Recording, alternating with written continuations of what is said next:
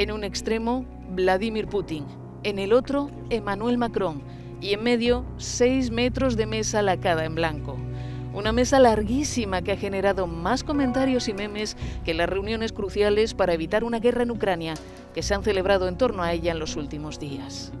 Tan famosa se ha hecho que dos empresas, una italiana y otra española, se atribuyen el mérito de haberla creado. La fábrica italiana se llama OAC y se encuentra en Lombardía. Su propietario asegura que la mesa es uno de los muebles que Rusia les encargó entre 1995 y 1997 para amueblar uno de los palacios del Kremlin. Su anhelo es que nunca se convierta en un símbolo de guerra. El posto dove una mesa es ese objeto en torno al que la gente se reúne para pasar el tiempo comiendo, riendo, bromeando, jugando. Es también donde se deciden las guerras y se firman los armisticios. Espero que esta mesa, en este caso, no forme parte de una escalada hacia una guerra.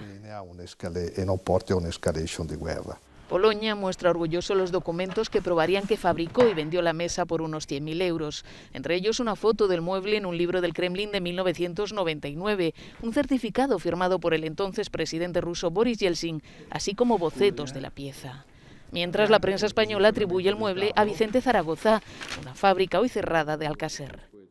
¿Mesa de paz o mesa de guerra? Aún no se sabe, pero lo que seguro es que pasará la historia como la mesa de la distancia.